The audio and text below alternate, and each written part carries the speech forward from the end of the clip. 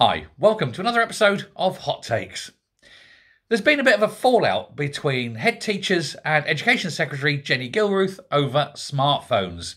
On May the 22nd, an edict came forth from the SNP government telling head teachers they wanted to ban smartphones from the, te- uh, from the classrooms. And then the head teachers have had to have this meeting and they told Jenny Gilruth, Are you mad? Um, because there are certain things within the curriculum that you need access to the internet for, and not everyone has got a laptop or a tablet or anything like that or a Chromebook, and so they use their phones. And in fact, the situation is so bad with the lack of resources that head teachers are actually telling the children to bring in and use your own device. Bring your own device. And what they're saying as well is that the problem there is some people have got little basic model devices, some people have got the latest iPhones, and kids being kids, there's a little bit of uh, tech bullying going on.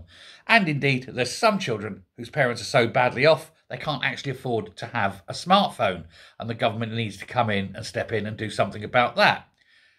Now, of course, this problem has arisen partially because Jenny Gilruth hasn't got a clue what she's doing, but also the fact that a previous uh, a previous health, uh, uh, education secretary promised everybody that all the kids will either have a tablet, a Chromebook, uh, or a laptop, or some such device, some way of getting online in order to do this work.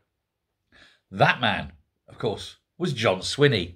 And so here we have this marvellous fail that uh, Jenny Gilruth says, do this. The head teachers say, we can't. And she says, why? And you say, because Swinney is an idiot.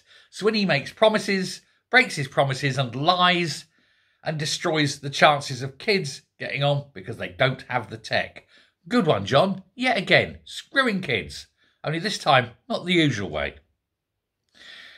Nothing can be done. We have to vote these people out. And in 2026, you have this chance to make sure that kids aren't having their futures destroyed by an inept and stupid government. Thanks very much. Bye.